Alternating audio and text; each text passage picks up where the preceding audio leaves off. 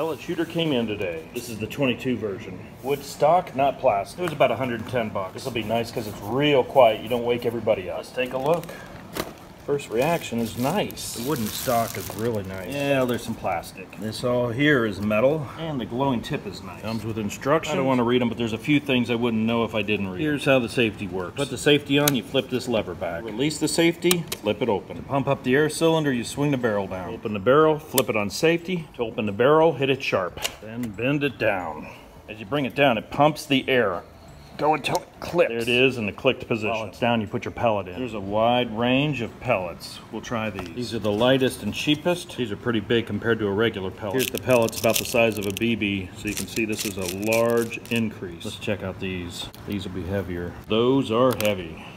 We'll put in a target round, get it lined up and put it in. It's on safety, we'll close it up, pull it up into position, give it a good pull. Boom. It is stiff. There it is. Came with some free targets. You'll set them up. The ants are attacking these things. Get back a little bit and give it a try. We'll take a shot here. Remove the safety. Missed the target, I'll put a piece of cardboard up here. Missed the target, but right there's the hole. I was aiming for this one, so it's gonna take a little time to get used to it.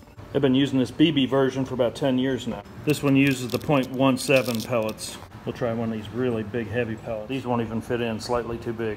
We'll try one of these. These fit in. I can see it's going to take some practice. It's right there, target's there. Out of the box experience was pretty good. It's a little hard to cock the air cylinder. What I really like is it's quiet.